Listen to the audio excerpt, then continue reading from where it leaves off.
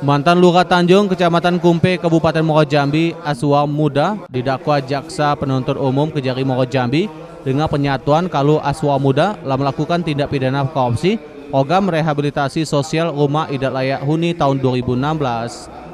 Terdakwa Aswa selaku Lurah Tanjung, Kecamatan Kumpe mengambil seluruh dana sebesar 240 juta rupiah dengan modus meminta kepada Lahmudin Serait selaku Ketua RS RTLH Tanjung 1 dan Apriandi, Ketua RS RTLH Tanjung 2 untuk menyetor balik duit bantuan dengan alasan terdakwa akan membeli material untuk rehab rumah tidak layak huni tersebut.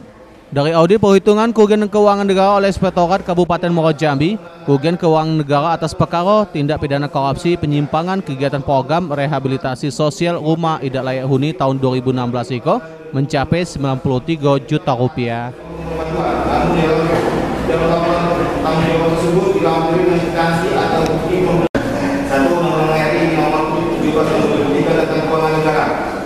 Dua dana yang dikatakan oleh ketua kelompok dan berharap dengan media sewa finansial usulan tersebut menjadi dasar percayaan bank Aswa Mudo didakwa dengan pasal primer dan subsidiar yakni primer pasal 2 ayat 1 junto pasal 18 ayat 1 huruf B Undang-Undang Republik Indonesia nomor 31 tahun 1999 tentang pemberantasan tindak pidana korupsi.